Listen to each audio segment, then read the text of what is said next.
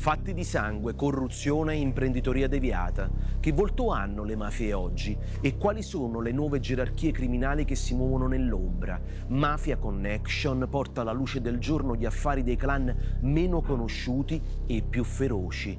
Incontreremo boss e affiliati che per la prima volta si siedono davanti a una telecamera, la nostra telecamera, e parlano. Ascolteremo intercettazioni esclusive e vi porteremo nei territori dove le mafie hanno costruito esaurito tutto il loro potere. In questa puntata cominciamo dalla provincia di Napoli, la mia terra, dove lontano dai riflettori scoppiano le bombe e si contano i morti ammazzati. Sono di c'è migliaia di persone affiliate. E questi si ammazzano se qualcosa va bene. Guarda, impressionante il potere che c'ha Angelo Molci. È un momento in cui i Moccia reagiscono con il sangue e danno prova della loro potenza criminale. Ha una storia senza precedenti il clan Moccia. Per la prima volta in Italia una donna viene accusata di essere l'ispiratrice di vendette e ascese criminali. Non solo che mi hanno ammazzato un marito, mi hanno ammazzato un figlio di 28 anni. Mia madre ha il primato di essere stata la prima donna accusata di mafia faide e omicidi sono state la regola d'ingaggio per diventare un clan di Camorra. Ma è con l'imprenditoria che la famiglia Moccia da Napoli a Roma è diventata leggenda del crimine. Luigi Moccia è riuscito ad accaparrarsi una fetta importante di attività di ristorazione di primaria importanza della capitale. Fino a un affare moderno e gigantesco che tiene insieme clan di Indrangheta e di Camorra, il petrolio credi come di vendere i lavori no? L'accusa nei confronti di René Bettozzi è quella di avere favorito unicamente il clan Moccia. Due procure, quella di Napoli e quella di Roma, danno la caccia ai Moccia. Sono davvero imprenditori con un passato ingombrante o, come sostiene l'accusa, non hanno mai smesso di essere i signori della camorra?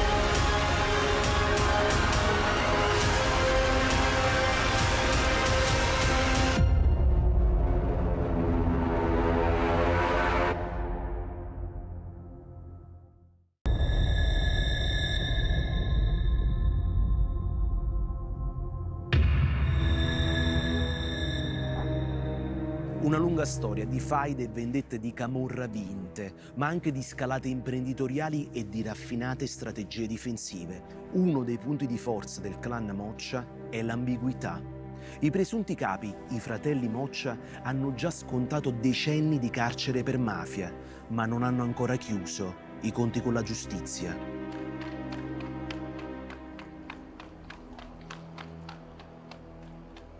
È ad Afragola, proprio dove sorge la stazione ferroviaria dell'alta velocità, che il clan Moccia ha il suo quartier generale. Da qui controllerebbe l'area nord della provincia partenopea. Casoria, Arzano, Caivano, Cardito, Crispano, Fratta Maggiore e Fratta Minore, con propaggini nell'intera provincia. Un territorio enorme dove se dici moccia le risposte non sono tutte uguali. Era un moccia, la gente ne parla, eppure ne parlavano bene, per dirci, nel senso dicevano che mantenevano la tranquillità. Io di questo, per tutto Noi stiamo raccontando la famiglia Moccia. Guarda, non c'è neanche di, di nominare certe situazioni. Il popolo ha paura.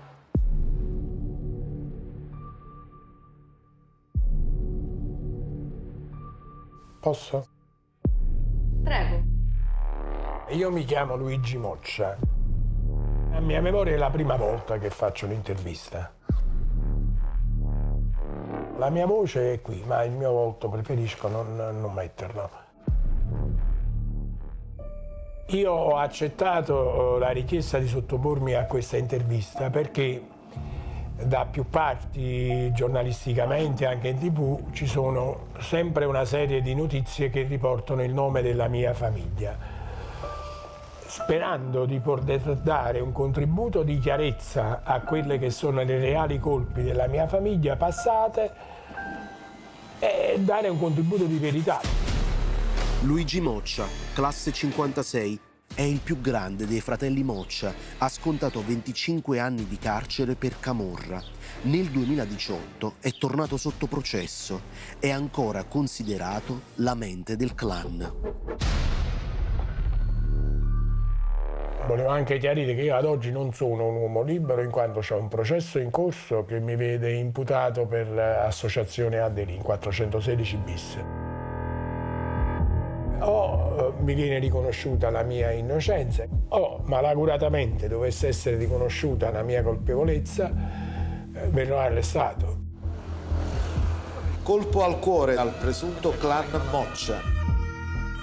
Come Cosa Nostra anche il clan Moccia aveva una struttura piramidale. L'indiscusso boss Luigi Moccia, catturato in una casa sui fori imperiali di fronte al Colosseo, la sorella Teresa Filippo Iazzetta.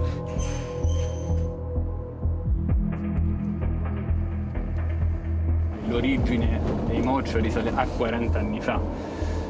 È tuttora una famiglia che fa registrare una, la, la propria operatività Dunque parlare dei Moscia ad Afragola non è semplicissimo, incute un certo timore. Ho cominciato ad indagare all'inizio degli anni 2000 sul clan Moccia.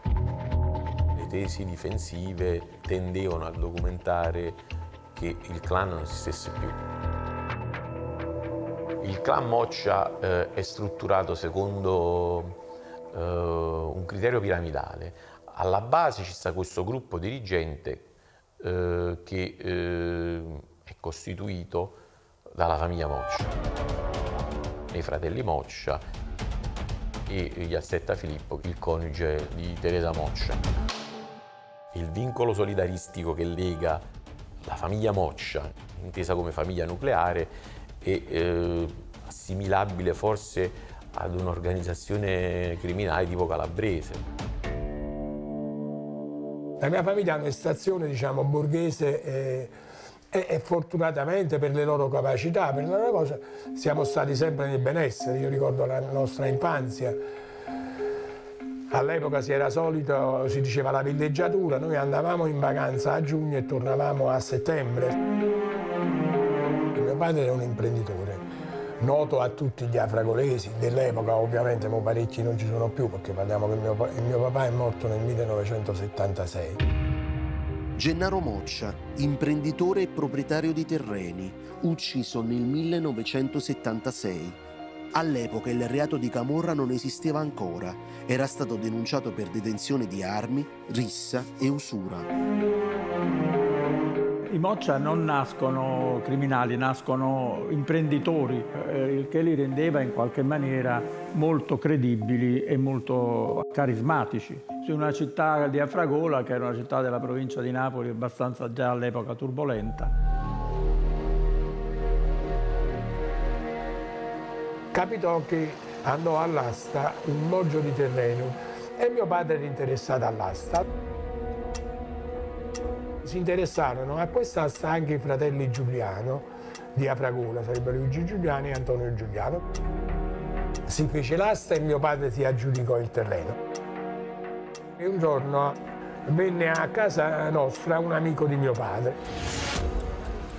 Gli esternava le sue preoccupazioni che questi qua, i Giuliano, volessero fare del male a mio padre. Fu lì che mio fratello Angelo, cioè Vincenzo, detto Angelo, ebbe quest'idea che purtroppo lo portò a fare uh, un, un, agguato a Luigi Giuliano in cui malaguratamente purtroppo successe che morì eh, per un equivoco il, maresciallo dei carabinieri Gerardo D'Arminio.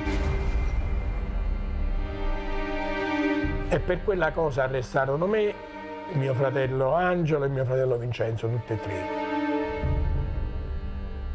mentre noi stavamo in carcere purtroppo successe poi l'irreparabile a noi. Ancora un morto nella faida fra due famiglie di Afragola, i Moccia e i Giuliano. Ci fu la morte di mio padre. Sarà indispensabile eh, nel momento in cui avviene lo scontro che una soltanto delle famiglie prevalga e a prevalere è sicuramente quella dei Moccia. Questo desiderio di vendetta, di vendicare mio padre, ci ha portato poi anche a fare un certo percorso di vita.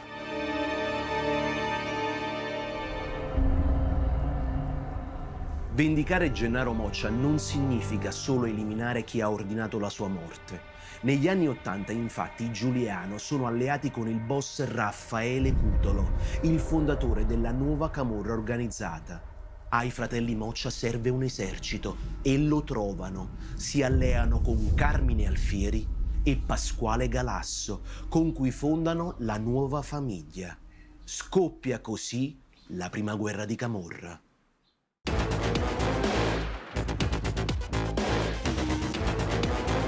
si assistette ad uno scontro armato terribile, di dimensioni veramente terribili. Ehm, si contano forse più di mille morti. Un'alleanza costituita per difendersi da Cutolo e si impossessava delle aree che erano precedentemente controllate dalla nuova Camorra organizzata. A uscire vincitori dalla sanguinosa guerra di Camorra contro il boss Raffaele Cutolo, detto professore, sono proprio i fratelli Moccia, che da quel momento diventano indiscussi signori del crimine. Ed è proprio così che da figli della borghesia napoletana Luigi, Antonio e Angelo si trasformano in giovani ma feroci camorristi. Ricorda quanti omicidi ha commesso? Materialmente? Materialmente, come esecutore materiale? Materialmente non, non ricordo. E come mandante? Abbastanza. Abbastanza che significa?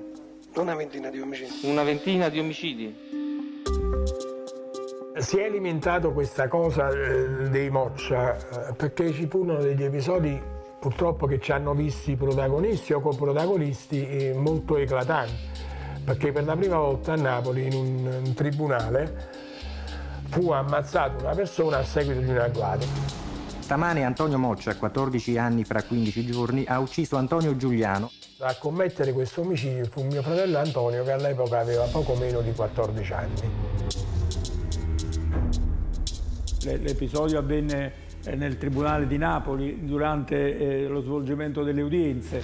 Fu una cosa che lasciò esterrefatti. In quel momento segnò una svolta eh, sulla spirale di violenza che si stava aprendo nella città. Mia madre venne accusata, arrestata addirittura per essere eh, stata l'ispiratrice di questo fatto. Ecco il fatto come nasce poi tutta questa situazione, la vedova della Camorra. Anna Mazza, detta la vedova nera della Camorra, è la prima donna in Italia accusata di mafia. È morta da incensurata. Abbiamo avuto numerosissimi collaboratori di giustizia, nessuno ha mai voluto uh, dirci una parola che comunque riguardasse Anna Mazza. Mi avevano mandato delle comunicazioni giudiziarie, mi avevano messo in carcere per associazione, non vi dico. Dopo un anno di carcere mi hanno prosciolto a formula piena in istruttoria. Se mia madre ha avuto anche una serie di, di, di, provvedimenti di divieti, fra cui ebbe un provvedimento di obbligo di soggiorno nel comune di Codogné, in Veneto. Questa gente vuole la libertà della sua terra, non vuole la mafia. A Codogné continua la battaglia contro il soggiorno cautelativo al nord dei camorristi. Valgono nel nostro paese ancora leggi che valevano nel Medioevo. Questa è una classe politica medievale. Anche io, se nasce, ma io voglio parlare con questa gente, perché qui si sono parte. Si presentano la sera sotto casa di mia madre, addirittura c'è stato del lancio di pietre, delle cose. Io non dispongo di armi, ho una macchina, se vedo qualcuno che viene a casa di mia madre e tira le pietre, lo posso pure buttare sotto la macchina. Mi sembra il minimo. Non revocheranno il provvedimento di soggiorno obbligato alla camorrista. Li denuncio e li ritengo responsabili di tutto quello che mi potrà succedere. E il boss mi mandò a dire proprio queste testuali parole. Dice noi stiamo facendo questo affinché questa legge venga abolita in quanto le persone, anche se hanno dei, dei misfatti, delle cose, se ne stiano a casa loro. Voi non mi volete, ma io pure me ne voglio andare a casa mia. Stiamo vincendo! Il governo cambiò legge e mia madre ritornò quindi ad Afragola. La situazione di persecuzione da parte della Procura di Napoli era reale, lampante. Volevano che noi diventassimo dei collaboratori di giustizia. oscuri ed inquietanti legami con politici ed amministratori. Carmine Alfieri, dopo Galasso, si pente e collabora con i giudici. La situazione di Moccia all'epoca era già compromessa dalle dichiarazioni che avrebbero reso eh, Galasso ed Alfieri, di cui Angelo Moccia è stato un, uh, un fedele alleato. Di cosa dovrei pentirmi? Dovrei accusare delle persone. Non si può fare la mattina il malavitoso e la sera si può fare il prete che va a predicare. È una stagione cruciale quella del 1993 i pentiti sono una potente arma nelle mani dello Stato e il clan Moccia è costretto a difendersi dalle accuse incrociate di nemici e alleati. È proprio in quel momento che dal carcere Angelo Moccia propone come strategia difensiva quella utilizzata dalle Brigate Rosse, con cui i Moccia hanno condiviso celle e avvocati. Si chiama dissociazione e con il pentitismo ha una sola cosa in comune, ottenere uno sconto di pena ed evitare l'ergastolo. Per il resto la differenza è netta. Il pentito deve raccontare tutto quello che sa sulla camorra, aiutando lo Stato nelle indagini. Il dissociato, invece, si limita a confessare i reati a lui contestati, senza dire nulla sugli altri imputati, a meno che non siano morti o pentiti. Sottoscritto Moccia, capo riconosciuto della Camorra Napoletana, ritiene di dover informare le signore vostre dottrissime di avere operato una netta e definitiva dissociazione dalla Camorra Napoletana, della quale ammette di avere fatto parte per lunghi anni. Capimmo che quella era un tentativo di fermare quella cascata di collaborazioni che stavamo avendo eh, che in qualche maniera aveva messo in crisi profonda eh, tutte le gerarchie delle organizzazioni, i suoi metodi di lavoro i suoi affari. Una raffinata iniziativa processuale per evitare la condanna all'ergastolo. Mentre il collaboratore perde tutto, perde l'onore, perde la famiglia, perde il patrimonio e sarà un animale in fuga per il resto della sua vita, con la dissociazione il, il soggetto diventava, restava protagonista del, del suo status all'interno dell'organizzazione. Io mi chiamo Gennaro Panzuto, ho detto Jenny Terremoto. Ho iniziato la mia carriera delinquenziale come rapinatore, per finire poi ai vertici e a capo di un clan. Eh, nel 2008 ho intrapreso la mia collaborazione con lo Stato. Gennaro Panzuto, ex camorrista, è stato latitante in Inghilterra, poi è diventato un collaboratore di giustizia ex affiliato al clan Licciardi, alleati dei Moccia. Oggi è un uomo libero. Paradossalmente, questa dissociazione del clan Moccia, la camorra in generale, la prendono tutti come una cosa che in qualche modo non tocca i principi omertosi, che non tocca principi di codici camorristici, eccetera, eccetera. Se l'hanno fatto i Moccia significa che è una cosa strategica, strategica e basta. Tutta la malavita di Napoli vivono tutti di una sudditanza in merito a Clan Moccia. Non me la sento in questa sede di parlare dell'associazione anche perché sia io che mio fratello stiamo affrontando ancora dei processi in cui questo è, arg è argomento di, diciamo, processuale. Se la strategia uh, della dissociazione la prendeva altri clan, credimi, gli effetti erano disastrosi, eh, potevano essere anche ammazzati, attaccati subito. Posso solo dire, in merito alla dissociazione, ipotizzavamo questo, una rinascita, tagliare i ponti con una vita che uno comunque aveva commesso. Questa perlomeno è la nostra illusione. I Moc hanno davvero chiuso i conti con la Camorra? Tre morti in poche ore in campagna, si torna a sparare. Una mattina arriviamo e troviamo 20 bossoli di pistola. Ho denunciato i mocce e dopo hanno bruciato i camere. Lo chiamo incidente, per me è un incidente. Non riesci a chiamarlo omicidio? No, assolutamente. A queste persone che hanno ammazzato mio figlio, gli auguro di non trovare mai felicità.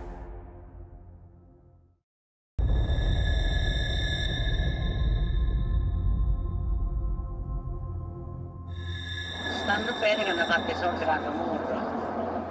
ricostruzioni, ma non credo fatti Vicino come venuto, vicino lo chiamano nel colletto bianco.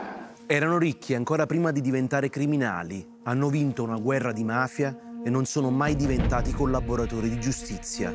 È cresciuta così la fama dei Moccia, una famiglia che si dichiara ormai da anni lontana dalla camorra, ma che ha ancora troppi conti aperti con la giustizia.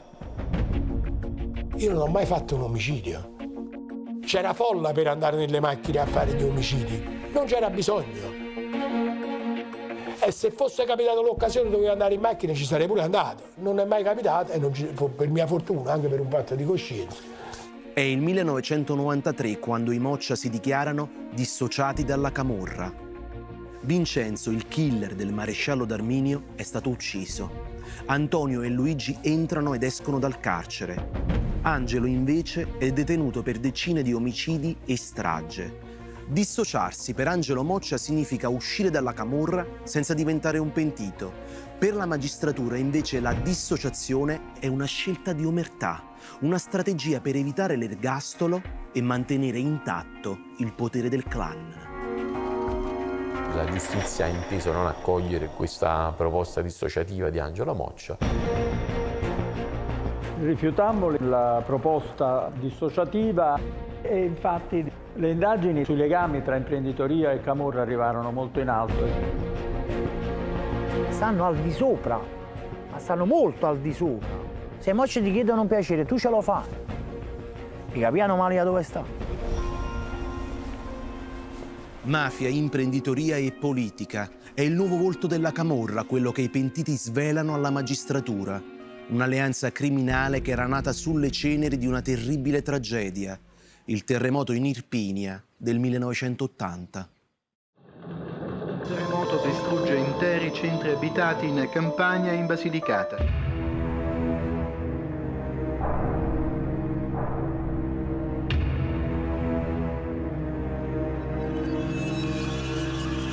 Tempo poi quando è nata la spartizione di soldi del, dopo terremoto, le cosiddette tangenti diciamo, sui lavori di grossa entità, io ho gestito questi soldi in quelle zone. È un affare miliardario la ricostruzione post-terremoto. Politici corrotti e camorristi pilotano appalti e si spartiscono le tangenti. Le ditte che vogliono lavorare devono versare una percentuale alle famiglie di riferimento, che ad Afragola e Casoria sono i Moccia. Un'occasione di rinascita per la Campania diventa quindi saccheggio di risorse pubbliche e scatena una guerra tra clan. Cadono a terra camorristi e vittime innocenti. I Moccia invece restano in piedi e diventano ancora più ricchi. Dopo la loro definitiva affermazione non hanno avuto conflitti con altre organizzazioni antagoniste nelle loro aree l'organizzazione ha mutato le forme, ha mutato i comportamenti, ma rimane salda e solida sul territorio. Secondo le indagini, il clan resta al comando della provincia napoletana. Oggi, con una galassia di affiliati, controllerebbe i territori dove ha costruito case, imprese e potere. Ma cosa significa controllare un territorio?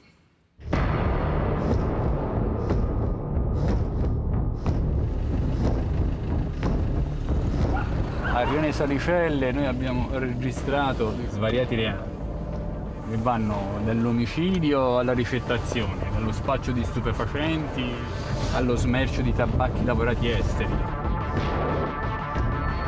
Sul territorio nel tempo ci sono stati altri clan camorristici contigui, confederati alla famiglia Moccia clan attecchiscono dove c'è un po' di degrado ambientale e anche un degrado sociale, dove manca il lavoro, da sempre.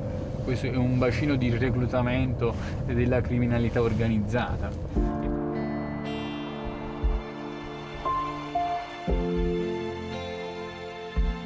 Con qualsiasi persona che parlo, non dico mai che vengo dalle salecelle perché ho vergogna.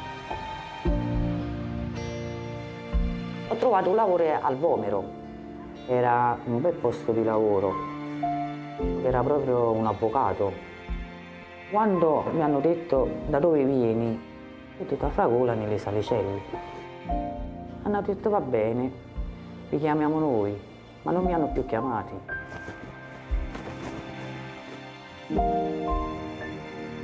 Purtroppo il rione Saliciore fa paura. Non avendo nemmeno lavoro è normale che le persone si buttano, so, a fare scippi, a fare rapine. Tempo fa hanno messo anche una bomba qui, nelle palazzine, cioè proprio di fronte a noi e non sappiamo perché. Non possiamo parlare, non ci possiamo difendere, non possiamo fare niente. Allora ognuno si fa i fatti suoi e meglio.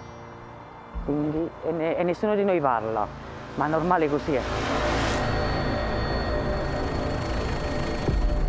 Ordigni esplosivi destinati ad essere usati per attentati a scopo estorsivo sono stati sequestrati dai carabinieri nella cantinola di un fabbricato a Rione Salicelle di Afragola. Non abbiamo gli elementi per dire chi, che cosa, perché fa determinate azioni, siano esse le bombe, sia venire ad esplodere 21 colpi a salve fuori a un bene comune, ma abbiamo la necessità di urlare che non è normale.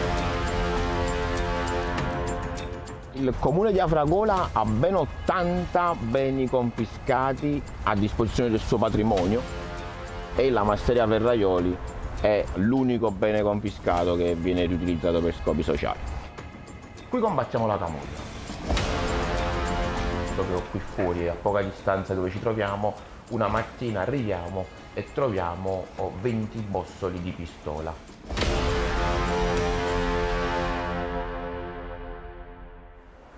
Quest'area fa gola ai clan perché è un luogo centrale su cui uh, si snodano uh, arterie vitali che collegheranno la TAV, quindi uh, su strada ferrata, ma anche nuovi svincoli autostradali come quello della Napoli-Bari.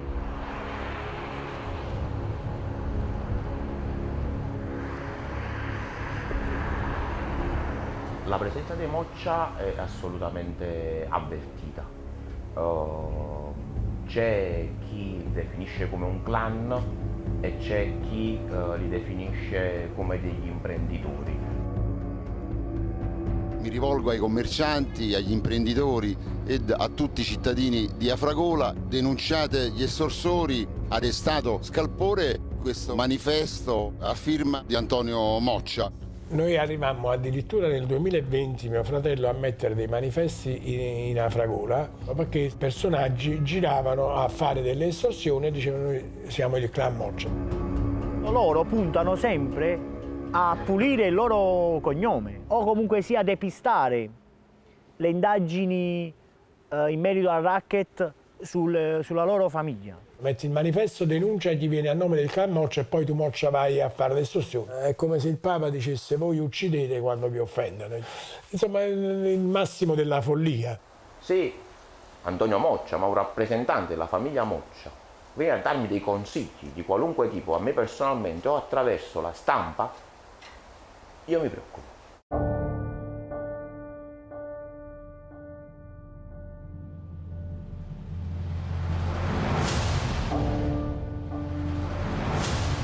Botto, un'esplosione fortissima ed è di nuovo angoscia da Fragola.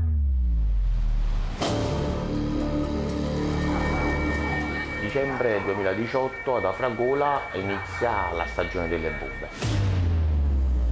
Possiamo affermare con assoluta certezza che è stata una tentata strage.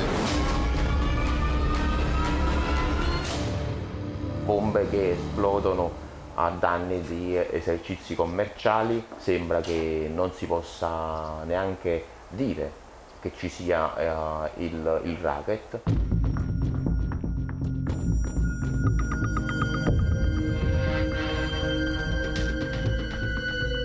Ma si è capito che è successo? No. È un po' che sta facendo questo servizio. Come sette fa ne hanno fatto un altro. Una bella bomba. Così è giocato palazzi. La macchina. La macchina. Eh certo dicevo, scusa, è normale. Non girano belle acque, come diciamo noi qua. L'organizzazione vede diversi componenti della famiglia reclusi e quindi sul territorio si espongono soggetti giovani. Gioco forza si assiste ad una maniera disordinata di, di conduzione delle attività criminali. Anche quando noi abbiamo fatto questo passo indietro, se così vogliamo dire, che non abbiamo inteso più fare un certo tipo di vita, ovviamente da Fragola, come nei paesi di Mino, si è continuato a delinquere. Alcuni anche artatamente continuavano a dire proprio palesemente clan Moccia, altri bastava che dicevano gli amici di Afragola e nell'immaginario delle persone si identificava il clan Moccia. La macchina l'abbiamo costruita noi, però a un certo punto abbiamo posato le chiavi, poi chi la guida, chi la porta, chi va avanti è un problema loro. La famiglia Moccia si dichiara completamente estranea alle bombe che dal 2018 minacciano la sicurezza in città. Il fratello di Luigi Moccia, Antonio, ha perfino tappezzato a Fragola di manifesti anti-racket. Gli inquirenti però considerano i fratelli Moccia ancora a capo del clan che porta il loro cognome e scavano per cercare le tracce di un loro legame con le azioni criminali delle cosiddette articolazioni territoriali. La manovalanza rumorosa ai piedi della piramide Moccia che finanzierebbe gli affiliati del clan rispondendo a un'unica regia. Le indagini hanno documentato che le articolazioni territoriali dispongono di una lista di tutti gli operatori commerciali ai quali andare a chiedere l'estorsione. È emerso peraltro che le organizzazioni criminali rivolgono il proprio interesse anche ai lavori edili, che loro chiamano fatiche. Guarda, ti faccio un esempio, noi faceva mettere un tuo affiliato sulla moto e si faceva tutti, tutta la zona per vedere se trovava uh, muratori che stavano incominciando l'impalcatura per fare una ristrutturazione a un palazzo, no? Il lavoro che è 100.000 euro, il 5% di 100.000 euro, che è il lavoro di 500.000 euro, sempre il 5% comunque. Ma dove vai? Tutte le zone di Napoli è così.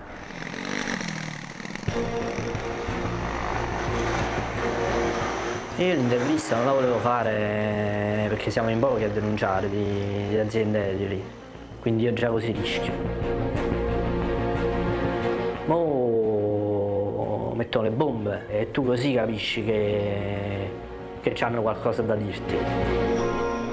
L'ultima denuncia che ho fatto è stata per una cosa che è successa a un mio autista, che tra l'altro è una persona di 60 anni che l'hanno battuta a sangue hanno picchiato a sangue, sempre perché vogliono metterci a lavorare nell'azienda quelli che dicono loro.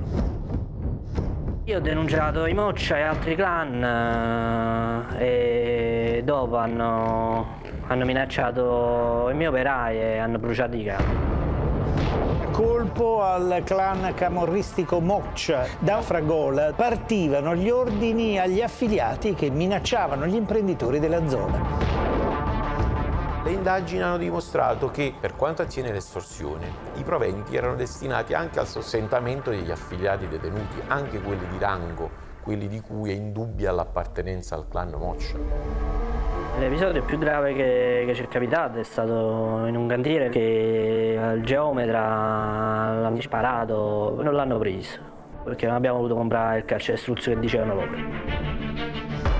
Nella lettera c'era scritto di lasciare stare il cantiere, che i soldi servivano per i detenuti. Se prima degli anni 2000 le attività venivano fatte in nome e per conto del clan Moscia, ora viene fatta in nome dei compagni di Afragola, è un sinonimo. Viene fatta in nome di carcerati, la potenza dell'azione rimane la stessa, però è cambiata la strategia.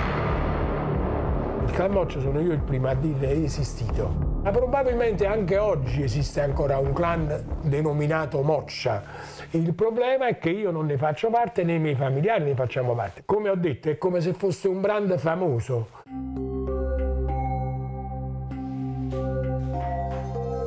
Come il clan Moccia o negli altri comuni dove c'è un'influenza di clan satelliti riconducibili a Moccia non può non incrociare le armi con queste organizzazioni e sodalizi criminali.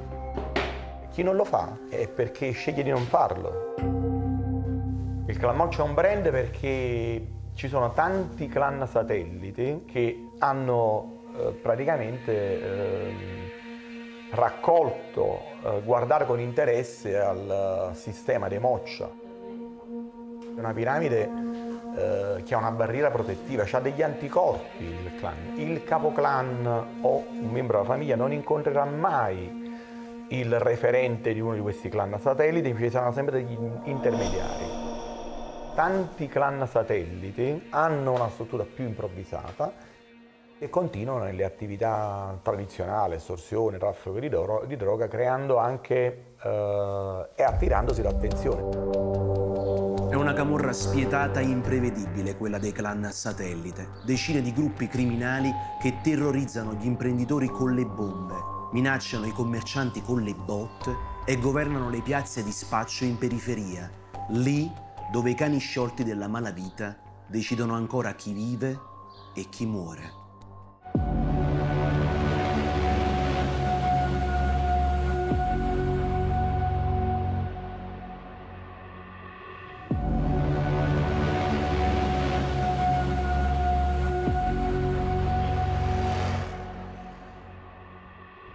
A questa persona che ha ammazzato mio figlio. Io gli auguro di non trovare mai felicità, che deve cercare la pace, ma non la deve mai trovare. Antimo Giarnieri, ucciso a 20 anni a Casoria l'8 luglio del 2020. Questa è una ferita d'arma da fuoco di una 765. Eravamo io, Antimo, i tre ragazzi un po' più distanti. Quando mio nipote è arrivato qua e, hanno- e ha detto hanno sparato Antimo, io è come ero entrato in un altro mondo. Io lo chiamavo, Antimo, svegliati, ma non si è svegliato. Ucciso come un boss, scrissero sui giornali. Te la poni pure tu la domanda. Fa che qualcosa mi è sfuggito, qualcosa ha nascosto, perché poi giustamente i ragazzi si lasciano trasportare. Ma io lo conoscevo bene mio figlio, sapevo chi era mio figlio. Mi piaceva vestire per bene, però dei soldi non se ne fregava. I miei amici sono lì.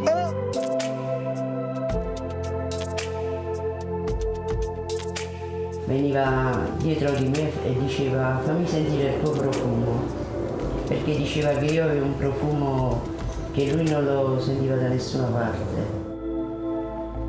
Quando andavo alla caserma dei carabinieri, io facevo perché mio figlio è stato, è stato ucciso. Un giorno il capitano mi disse, siediti, non era Antimo che volevano, era un'altra persona. E Antimo non ha mai fatto niente. Agguato a Casoria Antimo Giarnieri ucciso per errore a 19 anni, arrestate due persone. A finire in manette Ciro Sannino e Tommaso Russo, elemento congiunto del clan Moccia. La sfortuna di Antimo è che si è trovato nel posto sbagliato al momento di- eh, sbagliato. Dalle indagini è venuto fuori che cercava un altro ragazzo che voleva aprirsi una piazza di spaccio.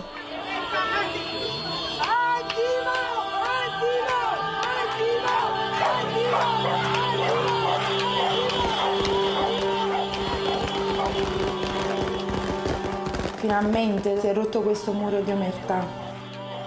Infatti c'è un testimone oculare che ha visto in faccia l'assassino, il mio fratello, e ha testimoniato. È in pericolo, è stato isolato dalla famiglia e in protezione attualmente.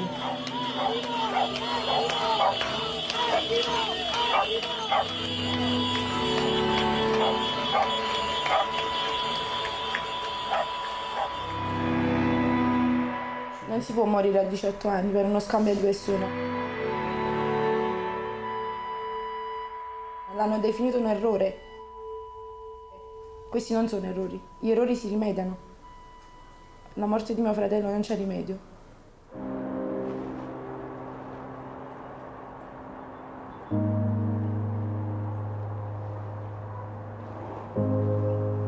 Quando guardo Napoli mi sento come un bambino che ha fatto un qualcosa di male verso i propri genitori. L'ultima guerra che ho fatto facemmo, mi sembra, 20-30 morti. Per me è inevitabile pensare ai figli che ho rimasto senza padre. Un omicidio che ancora ad oggi mi tormenta, omicidio che in qualche modo l'ho trattato come un sacco di patate. Questo mio amico che sapeva che io sparavo tanto, mi disse Gennaro guarda che dove stiamo andando a fare sta tanta, c'è tanta, ci sono tante persone e poi c'è una strada principale che sono, è molto controllata dalla polizia, cerca di fare una cosa pulita. Io sta cosa la presi un pochino offensiva. E niente, gli dissi, senti, allora facciamo una cosa, ci vogliamo giocare un qualcosa, un Rolex una macchina, che te lo ammazzi con un colpo solo. Quella scommessa che secondo me mi pesa di più.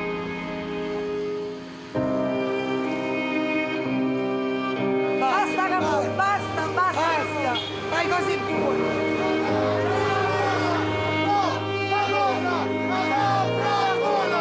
Qua, vedete, c'è la volontà dei cittadini onesti a cambiare capitolo. Le manifestazioni le abbiamo fatte in piazza perché noi non ci nascondiamo. Noi il nome lo facciamo, il nome di Moccia lo facciamo, perché uno dei tabù era proprio questo, non parlare, cioè non, non fare il nome eh, di questa famiglia.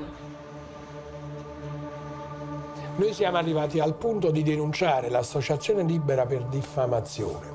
Alcuni adepti di questa associazione, sicuramente persone male informate, non facevano altro che calunniare mia madre. I ragazzi del, del presidio sono stati avvicinati e minacciati, qualcuno ha avuto pure qualche schiaffone. Mia madre che cosa fece? Si rivolse all'avvocatessa per dire fammi la cortesia, avvocato, chiama quelli di Libera, non come intimidazione camorristica, ma che la smettessero di dire queste cose. Noi continuiamo a parlare, noi continuiamo a dire nomi e cognomi senza averne paura. C'è chi non parla perché ha paura delle querele. Poliziotti, carabinieri, magistrati, querelano tutti. Addirittura io sono stato querelato da, da Antonio Moccia. Antonio Moccia, classe 64, ha scontato 4 anni di carcere per mafia. Nel 2021 è stato arrestato per autoriciclaggio e associazione mafiosa. È ancora sotto processo. La denuncia di Antonio Moccia si riferisce ad un episodio, ad un'attività di polizia giudiziaria che svolgemmo un, su un terreno. Questo terreno ci risultava un terreno agricolo, era stato trasformato in un'area industriale dove c'erano decine di mezzi, verosimilmente erano quelli utilizzati per uh, lavori di movimento terra, di alcune aziende che sembrerebbe avevano pure lavorato per la, la, il vicino cantiere della TAP. Io arrivo su quel terreno, uh, incontro un altro dipendente di una delle ditte, io gli chiedo ma chi è il proprietario? Perché sul, mi risultava una donna e lui mi dice ma come non conoscete il proprietario? Ah, non da che conoscevo, ma è una cosa di Roma. No, Roma c'è chiesto certamente. Con grande sorpresa sul posto poi arrivò eh, Antonio Moccia. Carabinieri, polizia, guardia di finanze, ma no, noi dovevamo venire. No, poi già ci si, ci pagavamo solo Roma, ci costava cose. Lui ci parlava di, di sanatorie, di attività che aveva in atto, di... parlava come parla il titolare di un bene. Sperando che eh, fanno questa attuazione e superare 5 comuni, perché là potremmo avere la concessione in sanatoria praticamente. Io gli dissi Ciuti perché lei ci dà tutta questa spiegazione se non è il titolare del bene, vuol dire che lei, secondo una mia opinione, è il titolare di fatto, quindi il sequestro lo faccio a nome suo, visto che lei è così interessata a questo terreno. Su quel terreno c'è ancora adesso un processo in corso di coinvolgimento, quindi non, non dirò altro. Ritengo che eh, effettivamente eh, gli interessi erano intorno alla struttura TAV non eh, in modo focalizzato proprio sulla TAV stessa.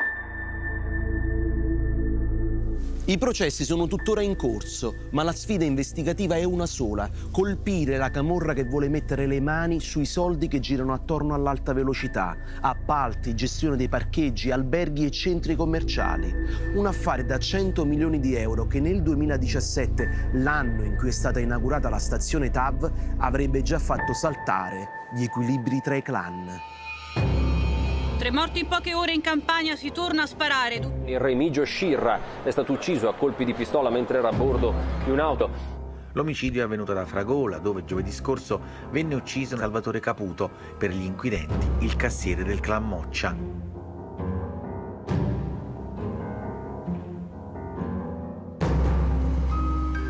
L'ipotesi è che sia scoppiata una faida tra il clan Cennamo e il clan Moccia, un tempo alleati e oggi rivali. Omicidi irrisolti per ora. Quello più controverso però è l'agguato a Salvatore Caputo, considerato dagli inquirenti un senatore dei Moccia, un ruolo che nella piramide della famiglia rappresenta la cerniera tra i capi e gli affiliati sul territorio.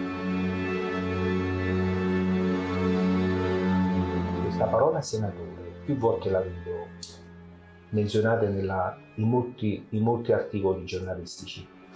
Senatore, per me io conosco solo, solo un senatore, quello della Repubblica Italiana. Parente del clan, della famiglia Moccia. Poi finisce con il parente, inizia associato alla famiglia Moccia. Pluripregiudicato della famiglia Moccia. Questi i rapporti che hanno visti da mio padre.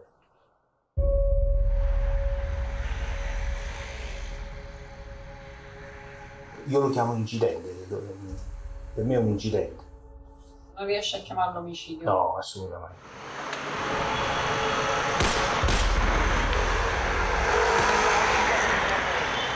Noi siamo gli studi cioè, delle armi, noi non siamo gli studi che arriva la squadra mobile e ci mette la casa sotto e sopra. Siamo vissuti nella normalità. Solo mio padre veniva descritto come una persona vicino alla, alla famiglia Moccia. Salvatore Caputo, produttore agricolo e imprenditore nel settore dei petroli, sfuggì a un misterioso agguato e in passato è stato consigliere comunale ad Afragola, accusato e poi assolto dal reato di mafia. Nell'87 mio padre è stato inquisito in un'associazione a delinquere con la signora Anna Mazza.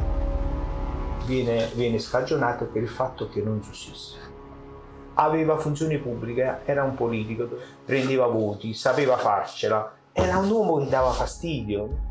È la politica il È la politica. E allora la magistratura deve fare la sua parte questa. Deve vagliare qualsiasi atto.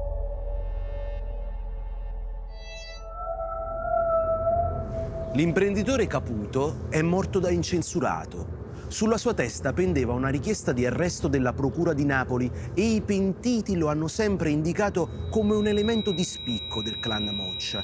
Uno su tutti, il collaboratore Salvatore Scafuto, che nel 2015, due anni prima dell'omicidio Caputo, racconta agli inquirenti.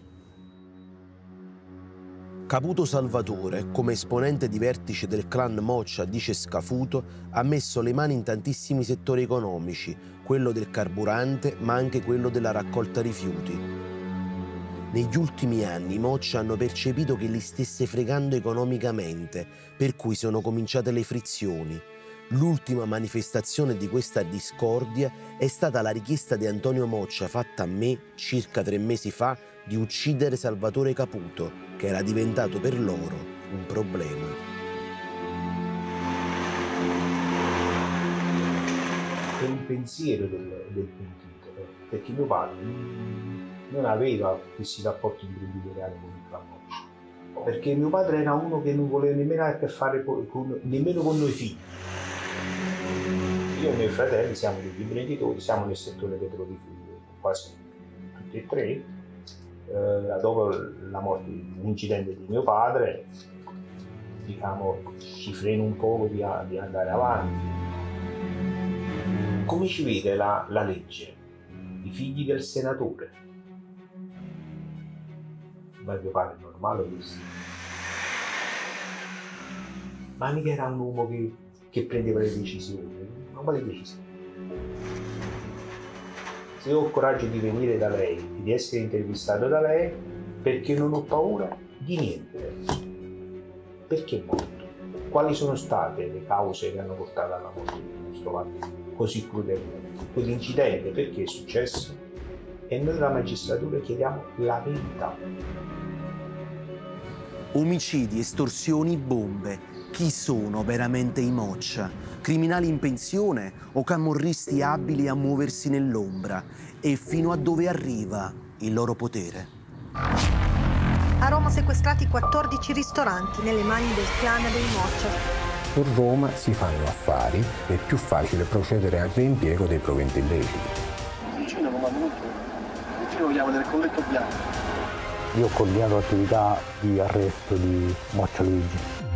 Romano pezzo di me, Roma fuck, Roma fuck. Questi ti ammazzano, cioè ti tolgono i locali, ti tolgono la famiglia, ti tolgono tutto.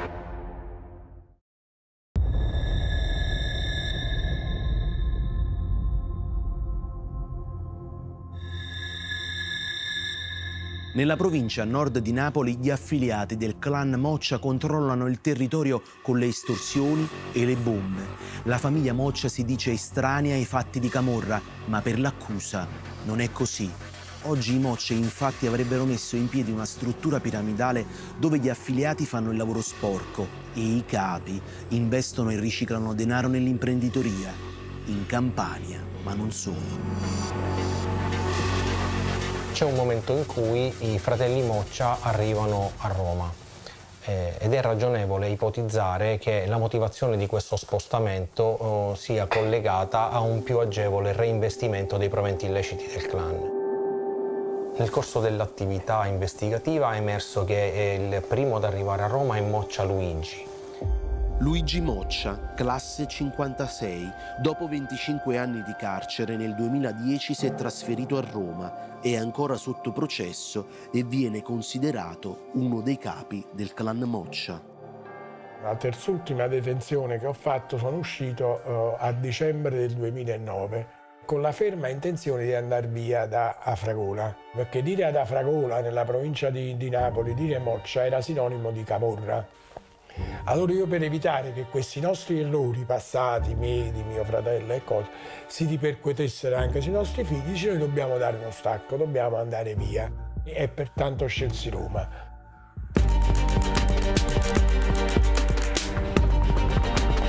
Roma rappresenta un po' un crocevia delle varie organizzazioni criminali.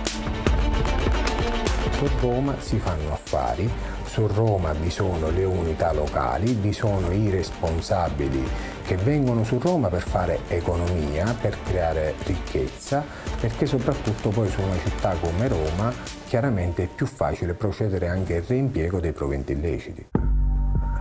Qualche inquirente so che ha detto che, noi, eh, che io ero andato via da Fragola perché se rimaniamo da Fragola se faccio un'attività mi sequestrano che... Ma eh, sarei stato uno stupido e uno stolto a pensare che io me ne andavo a Roma e facevo l'affare, non so, di comprare un palazzo ai Parioli solo perché stavo a Roma, ai Parioli non, non mi veniva sequestrato.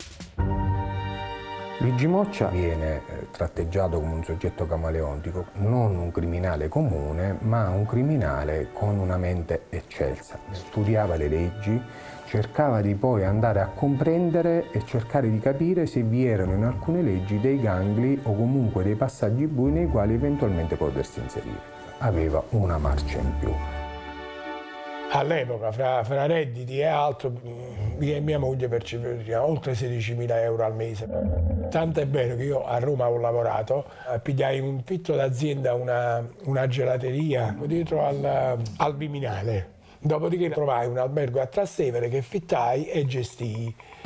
Ipotizzavo di essere controllato, intercettato, però la cosa non mi preoccupava mi illudevo che nel momento in cui mi avrebbero controllato si rendevano conto, dice vabbè ma questo sta, facendo, sta lavorando, punto.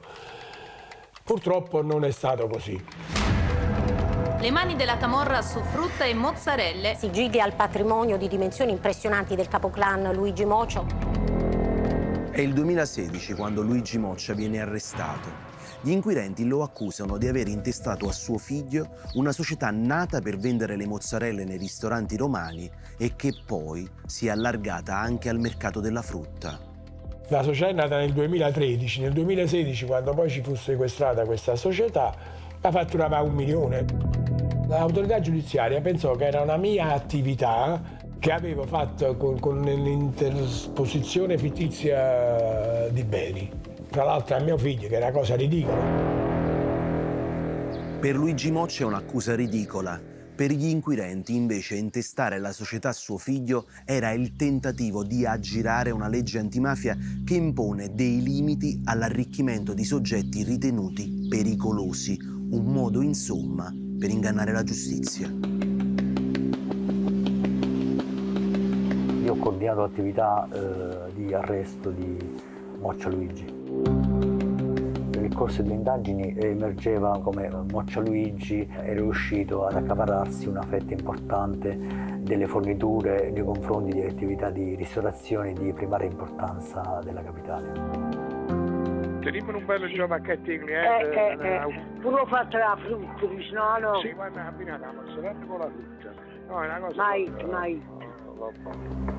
All'arresto di Luigi Moccia gli inquirenti ci arrivano indagando sui rapporti di un altro imprenditore. Si chiama Gennaro Moccia, detto Roberto, anche lui di origini napoletane, ma che non ha legami di parentela con la famiglia di Luigi. È proprietario però di una grossa società, la Moccia Fruit, che ha un deposito di stoccaggio merci e rifornisce alcuni supermercati della capitale, un partner perfetto per fare affari su Roma vicino comanda tutto. Vicino lo chiamano nel colletto bianco. In alcuni colloqui eh, intrattenuti dal Moccia Roberto emergeva eh, come lui si vantava di questo tipo di rapporto con Moccia Luigi. Eh, Clan lui a, a Roma siamo noi. Grazie a Moccia Roberto, Moccia Luigi è riuscito ad espandere i propri interessi eh, nel settore del commercio non solo di prodotti lattiero-caseari ma anche ortofrutticoli, nonché ad avere proiezioni anche sul mercato ortofrutticolo spagnolo. E da parlare proprio col capo di queste grandi catene di aziende, questo sapeva che andava là per, per i forniture, no? A mozzarella. Allora gli fa, lui fa piacere Moccia Luigi. Dice, ma lei è Moccia Fruit? Non hai capito come? A Napoli è moccia la camorra, ecco, a Roma è moccia, frutta, capito come? Acquisendo questi clienti che erano tutti ristoratori, incominciarono a dire, ma voi dove state col deposito? Si parlava, stiamo lì su Moccia Fruit, dato che Moccia Fruit a Roma era molto conosciuto, era un nome molto conosciuto nell'ambito della frutta e cose, dice, ma perché non ci portate la frutta? È nato da qualche ristoratore questa cosa. Pensare ai soldi, un sacco di spendere, sono venuti da mesi fa che Ferrari trovavano sotto il caracciaio. A Napoli al in primo grado con il rito abbreviato fu condannata a 4 anni e 8 mesi, mi pare. Dopodiché, fatto l'appello, eh, sono uscito assolto perché il fatto non costituisce reato. Quindi il giudice addirittura diede l'autorizzazione a mio figlio e al socio di continuare l'attività. Però intanto per accertare questa cosa, che secondo me si accertava in 10 minuti, seduti fuori a un bar, mi hanno fatto fare un anno di carcere e quant'altro. Il Tribunale di Roma assolve dalle accuse Luigi Moccia e quelli che venivano considerati suoi complici, cioè il figlio e l'imprenditore Gennaro Moccia, detto Roberto. L'indagine Moccia Fruit però non cade completamente nel vuoto e anzi apre la strada a un nuovo capitolo giudiziario, proprio sugli investimenti dei Moccia nella capitale. L'attività investigativa è stata complessa. Tengo conto che quando si attivano le intercettazioni tu hai 10 minuti orologio per installare eh, l'ambientale veicolare. Inoltre eh, le intercettazioni non basta ascoltarle anche perché poi vanno incrociate con le attività di pedinamento, vanno incrociate con le dichiarazioni rese dai collaboratori di giustizia. Quindi eh, ogni parola va eh, pesata, va contestualizzata L'immediatezza non ti dice nulla, però man mano che eh, si evolve l'attività investigativa eh, ti dà una chiave di lettura eh, di quello che è avvenuto e di quello che potrebbe avvenire. Ci fai ma dici, roba puoi capire, roba, la roba che io ho pensato la gente, e quanta ne va persa. Per fratello un po' cresce se ne vengono da Roma. Era emersa l'intenzione di Moccia Luigi di effettuare investimenti eh, non solo per se stesso eh, ma anche per i congiunti, per i figli di, di un fratello che all'epoca era detenuto, Moccia Angelo detto Insuccio. Angelo Moccia detto Insuccio ha scontato 23 anni per mafia e omicidi. Nel 2016 va a vivere a Roma. Dopo 4 anni viene arrestato per reati di mafia. Eccolo Angelo Moccia, mentre nel 2017 accompagna la figlia all'altare. Papillon nero, orologio d'oro e occhiali da sole modello film poliziesco anni 80. È il più violento dei fratelli ha partecipato a stragi e guerre, ha confessato più di 20 omicidi e si è dichiarato dissociato dalla camorra. Secondo l'accusa però, Angelo Moccia non ha mai smesso di essere un camorrista, neanche negli anni in cui ha vissuto a Roma. Io ho fatto una vita molto monotona, signor Presidente, a Roma. Per me era una bellissima vita perché per la prima volta io ero un uomo libero dopo tanti anni di carcere, di latitanza e di grandi problemi. L'attenzione investigativa sul Moccia Angelo e sui familiari ha inizio dall'osservazione di eh, un locale nei pressi del Pantheon. Da qui è venuto fuori che ci sono una serie di imprenditori collegati al Moccia che eh, sono intestatari di attività commerciali che però di fatto sono riconducibili alla famiglia Moccia. A Roma sono stati sequestrati 14 ristoranti finiti nelle mani del clan dei Moccia. I boss Luigi ed Angelo Moccia, che investivano in immobili e ristoranti.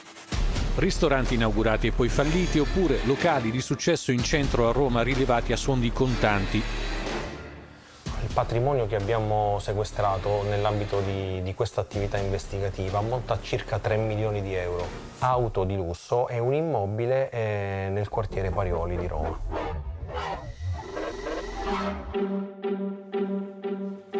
A Roma Angelo Moccia ha uno stile di vita sobrio e una rete di prestanome che gli consente di agire nell'ombra. L'indagine che nel 2020 porta al suo arresto nasce tre anni prima, quando all'imprenditore Francesco Varsi vengono sequestrati 14 ristoranti per evasione fiscale. Una truffa allo Stato da 9 milioni di euro. Quello che scopriranno dopo gli investigatori è che Varsi non agiva da solo. Varsi, Franco Varsi, diciamo è quello alle quali hanno sequestrato tutto, ma dietro Franco ci sta Angelo Mocci. Lo sai che Angelo c'ha un esercito a disposizione? La traccia investigativa che porta ad Angelo Moccia è una presunta vittima di estorsione, l'imprenditore Vittorio Domenici. Domenici ottiene in gestione quattro dei ristoranti sequestrati, ma anziché limitarsi a pagare l'affitto al Tribunale di Roma, come prevede la legge, versa a Francesco Varsi e Angelo Moccia una tassa non prevista, 300.000 euro. Nel momento in cui un imprenditore riesce a ottenere la gestione di un'attività sottoposta a sequestro da parte del tribunale, ovviamente per legge non deve corrispondere eh, denaro ad, ad alcuno. Eventuali richieste non possono che essere ricondotte a richieste estorsive. Succede che Dominici, è, secondo la tesi accusatoria, è consapevole che per condurre questi ristoranti deve corrispondere dei soldi che devono arrivare alla famiglia Moccia. Ma io sto pensando a 180.000 euro.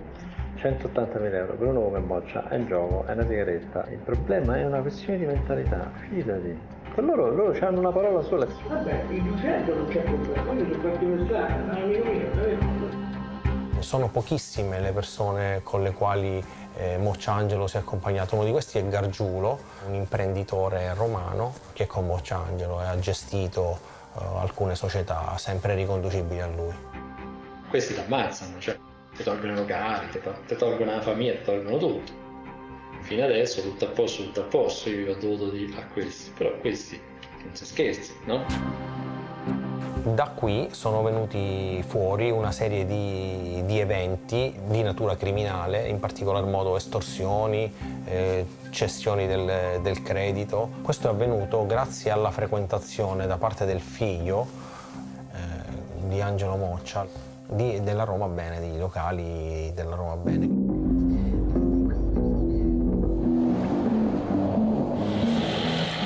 Marco, ma che pressione di un giorno o due? Stiamo a fare questo da tre anni. A me mi servono i soldi, eh. Vedi che ti faccio volare qualcosa, altrimenti se si riceve la casa. Ma come ciao? Romano pezzo di merda.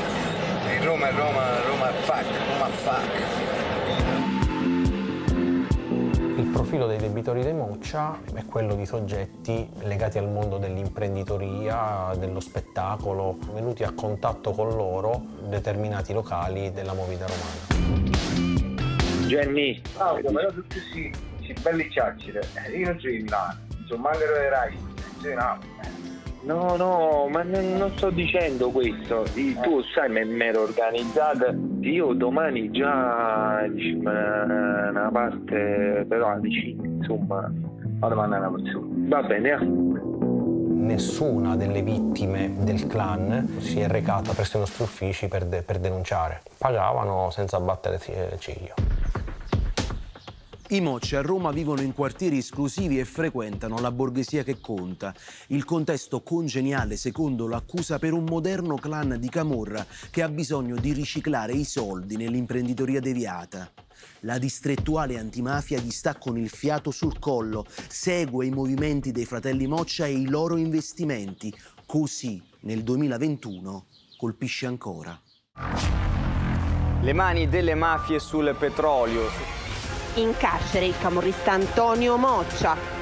Come hanno fatto i Moc a mettere le mani sul petrolio? You are the one Anna! L'accusa nei confronti di Anne Bettozzi è quella di avere favorito il clan Moccia. Siamo stati sempre al centro di cronache giudiziarie, molte volte giustamente, alcune volte ingiustamente.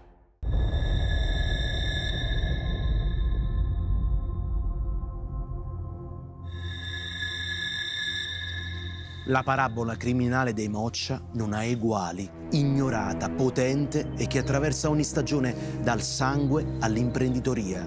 Una storia che inizia da Fragola, il loro territorio di origine, e che arriva fino alla capitale, dove i Moccia avrebbero riciclato denaro nei ristoranti e prestato soldi alla borghesia romana.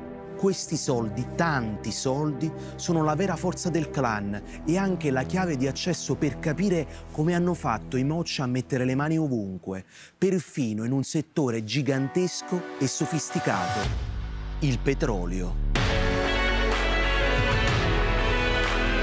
Le mani delle mafie sul petrolio, 71 arresti tra Calabria, Campania e Lazio. Centrale il ruolo del clan Moccia. L'indagine più recente si chiama Petrol Mafie e travolge il più giovane dei fratelli Moccia. In carcere il commercialista Alberto Coppola ed Antonio Moccia, lui che già a 14 anni aveva commesso un omicidio. Antonio Moccia, classe 64, ha scontato 4 anni di carcere per mafia.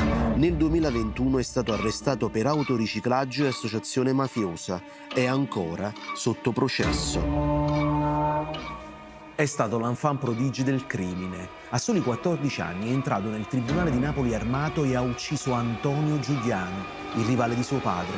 È autore dei manifesti antiracket di Afragola, quelli contro le bombe e il pizzo, un'antimafia di facciata, secondo gli inquirenti, che lo considerano ancora uno dei capi del clan. Nell'indagine Petrol Mafia del 2021, Antonio Moccia è accusato di aver riciclato denaro nella società petrolifera di un'insospettabile imprenditrice, Anna Bettozzi. Fascino, dinamismo ines- inesauribile, energia, una donna di grande talento che non ha paura delle sfide. You are the one Anna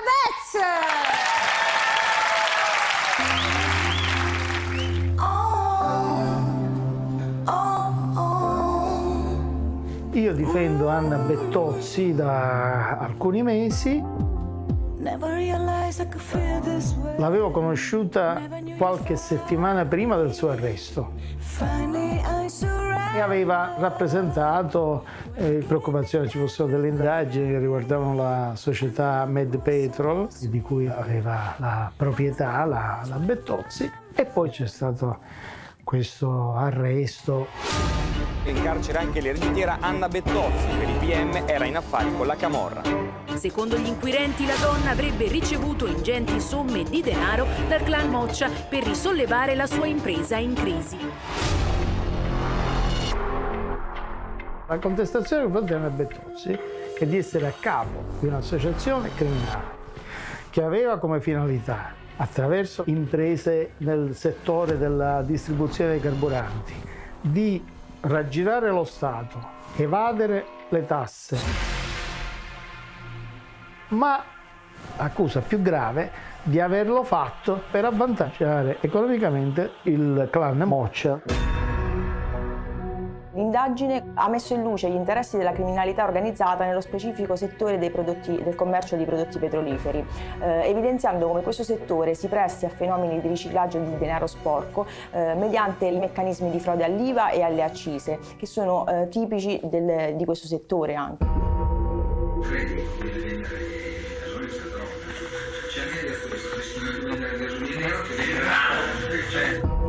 Le nostre investigazioni hanno permesso di ricostruire la frode perpetrata dal sodalizio criminale per un'imposta evasa pari a oltre 180 milioni di euro, nonché violazioni in materia di accise per circa 12 milioni di euro.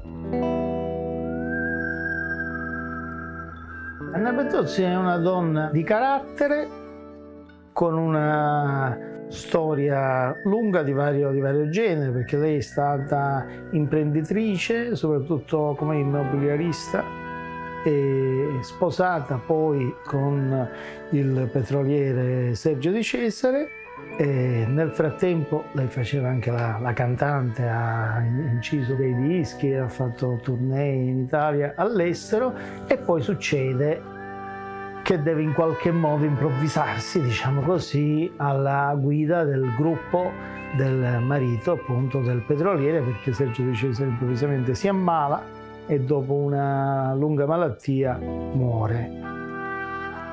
Ed è proprio in questo periodo che la Bettozzi conosce Alberto Coppola, altro imprenditore eh, importante del settore del commercio dei prodotti petroliferi, nonché parente di Antonio Moccia. Alberto Coppola, imprenditore petrolifero, cugino di Antonio Moccia, coinvolto in Petrol Mafia con l'accusa di aver favorito gli interessi del clan Moccia.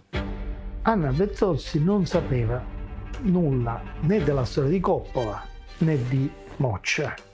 Si rende conto che c'è questa parentela con Moccia e che questo Moccia vuole venirla ad incontrare perché Coppola nel frattempo sul suo versante cerca di per accreditarsi anche agli occhi del, del cugino dirgli beh qua abbiamo una società un bel, una bella società sulla quale io sto mettendo le mani vieni pure tu e, e ce ne impossessiamo. Questo è un po' il, il senso della cosa.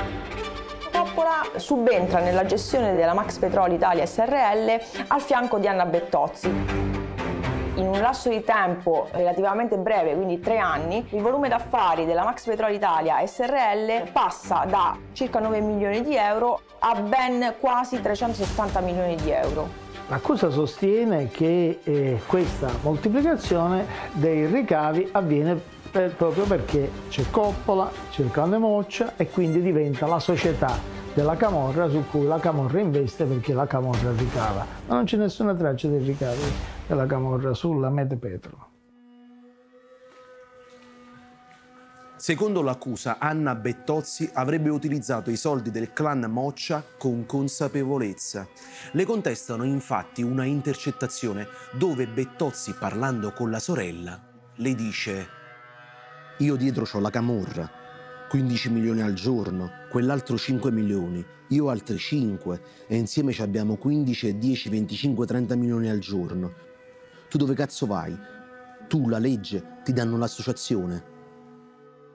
C'ho dietro la camorra, dietro che mi insegue. Cioè lei dissuade la, la sorella per dire guarda io ho già la camorra addosso, questo è il senso, c'ho la camorra dietro. C'ho la camorra addosso meglio che eviti di entrare in questo settore perché è un settore difficile, pericoloso e rischioso. Sempre durante queste eh, conversazioni telefoniche emerge anche eh, la preoccupazione della Bettozzi eh, per i reati eh, verso i quali poteva incorrere nel continuare a lavorare con determinati soggetti. La Bettozzi si mette paura, c'è una bomba carta a scopo dimostrativo che esplode dietro il cancello di un'abitazione privata di uno dei figli della Bettozzi. Fermo restando che eh, non si può attribuire naturalmente a nessuno la responsabilità di quei fatti, perché sono dei fatti contro ignoti, la mia esperienza non solo quella di avvocato di oggi, ma soprattutto quella di PM antimafia di ieri, mi dice che queste sono le tipiche condotte degli ambienti di tipo mafioso, camorristico.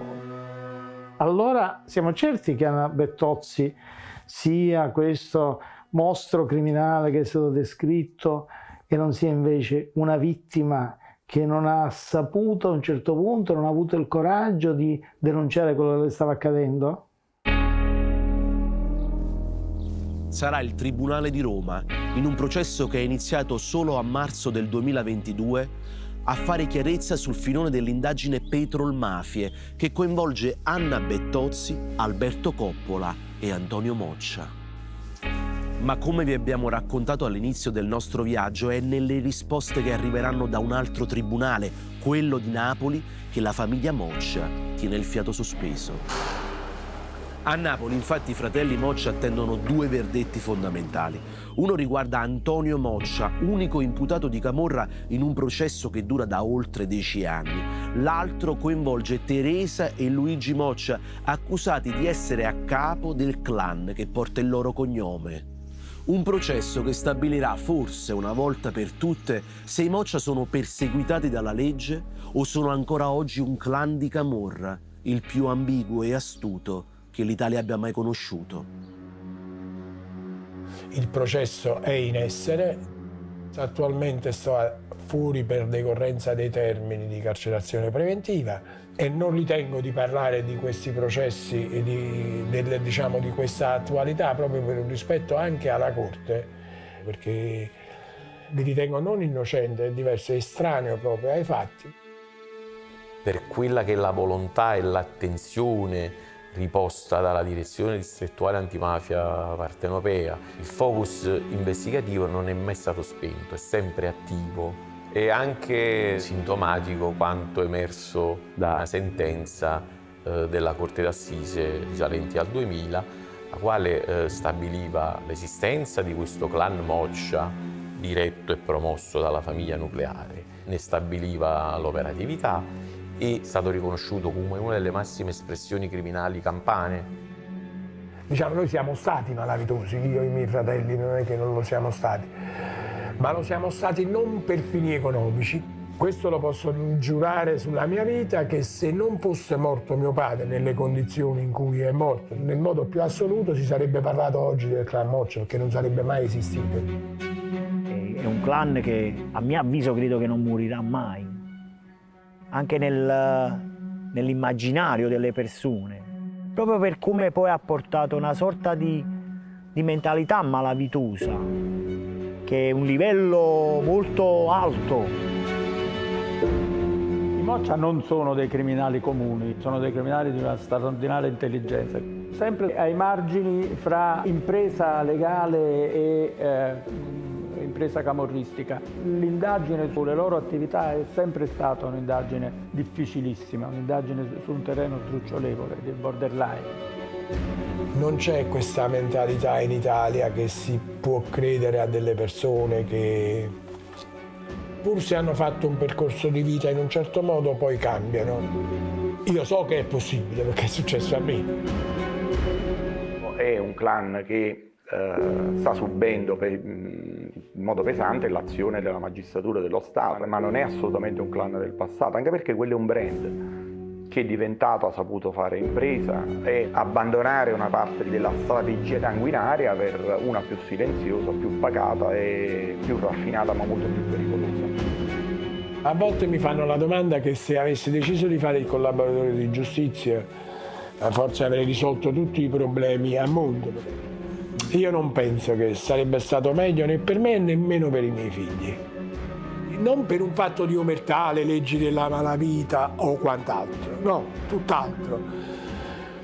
Eh, perché il pentimento secondo me si deve vivere nella, propria coscienza, uno, ma questo anche per insegnare ai miei figli che chi sbaglia paga, è giusto che paghi e la finisce là. Si vorrà dire che se la Corte riterrà di condannarmi, faccio come quello che cammina sulle strisce pedonali e viene investito, non se la piglia con il mondo, insomma cerca di, di, di curarsi le proprie ferite, appunto, e cercare un domani migliore.